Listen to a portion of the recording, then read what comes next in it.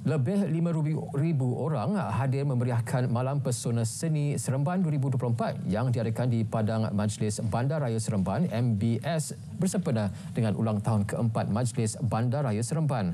Menteri Besar Datuk Seri Aminuddin Harun memaklumkan beliau berharap Majlis Bandaraya tersebut dapat menjalankan fungsi sebaiknya selaras dengan slogan Negeri Sembilan Bersih, Muafakat dan Sejahtera kita melihat ini sebahagian daripada harapan daripada penduduk-penduduk yang ada di sini.